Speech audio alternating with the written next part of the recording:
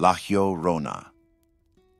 The Weeping Woman of the Southwest has been a part of the Southwest's Hispanic culture since the conquistadors' days.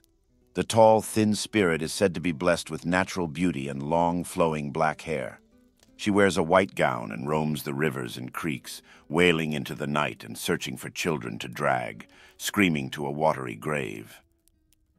No one knows when the legend of La Llorona began or where it originated.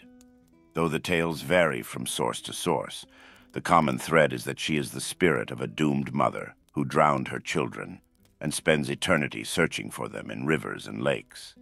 La Llorona, christened Maria, was born to a peasant family in a humble village. Her startling beauty captured the attention of the area's rich and poor men.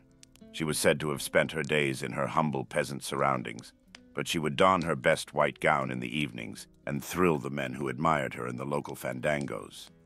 The young men anxiously waited for her arrival, and she reveled in the attention that she received. However, Maria had two small sons who made it difficult for her to spend her evenings out, and she often left them alone while she cavorted with the gentlemen during the evenings. One day, the two small boys were found drowned in the river. Some say they drowned through her neglect, but others say they may have died by her own hand. Another legend says that Maria was a caring woman full of life and love who married a wealthy man who lavished her with gifts and attention. However, after she bore him two sons, he changed, returning to a life of womanizing and alcohol, often leaving her for months at a time. He seemingly no longer cared for the beautiful Maria, even talking about leaving her to marry a woman of his own wealthy class. When he did return home, it was only to visit his children, and the devastated Maria began to feel resentment toward the boys. One evening, as Maria was strolling with her two children on a shady pathway near the river, her husband came by in a carriage with an elegant lady beside him. He stopped and spoke to his children but ignored Maria, and then drove the carriage down the road without looking back. After seeing this, Maria went into a terrible rage, and turning against her children, she seized them and threw them into the river.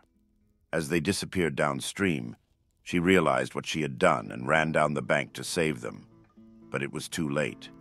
Maria broke down into inconsolable grief, running down the streets screaming and wailing. Maria mourned them day and night. During this time, she would not eat and walked along the river in her white gown, searching for her boys, hoping they would return to her. She cried endlessly as she roamed the riverbanks and her gown became soiled and torn. When she refused to eat, she grew thinner and appeared taller until she looked like a walking skeleton. Still a young woman, she finally died on the riverbanks. Not long after her death, her restless spirit began to appear, walking the banks of the Santa Fe River when darkness fell. Her weeping and wailing became a curse of the night, and people began to be afraid to go out after dark. She was said to have been seen drifting between the trees along the shoreline or floating on the current with her long white gown spread out upon the waters. On many a dark night, people would see her walking along the riverbank and crying for her children.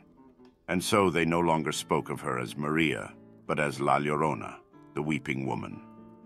Children are warned not to go out in the dark, for La Llorona might snatch them, throwing them to their deaths in the flowing waters.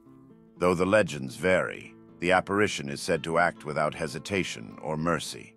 The tales of her cruelty depend on the version of the legend you hear. Some say that she kills indiscriminately, taking men, women, and children, whoever is foolish enough to get close enough to her. Others say she is very barbaric and kills only children, dragging them screaming to a watery grave.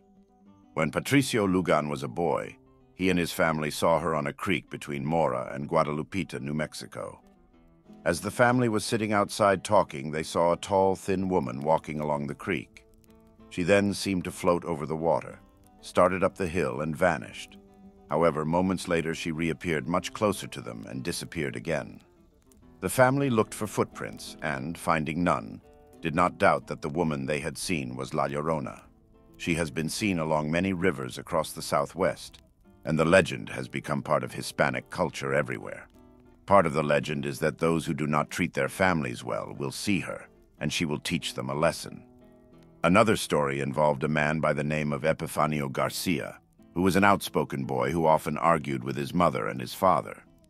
After a heated argument, Epifanio and his brothers, Carlos and Agustin, decided to leave their ranch in Ojo de la Vaca to head toward the Villa Real de Santa Fe.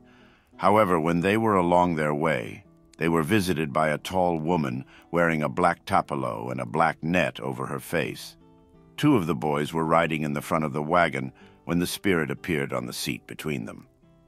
She was silent and continued to sit there until Epifanio finally turned the horses around and headed back home. At which time she said, I will visit you again someday when you argue with your mother.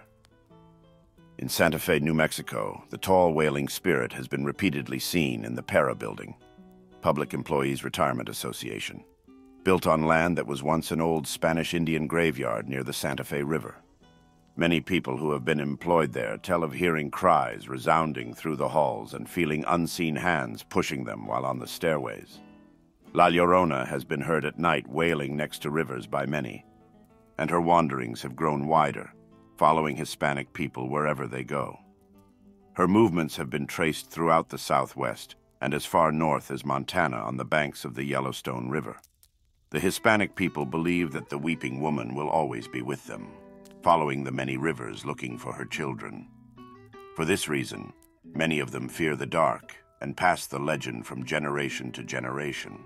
Until next time, my friends, I shall see you around the campfire.